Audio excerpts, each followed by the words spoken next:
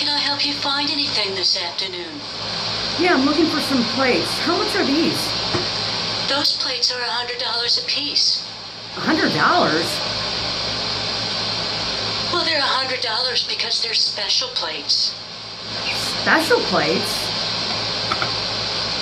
Well, no, they're special plates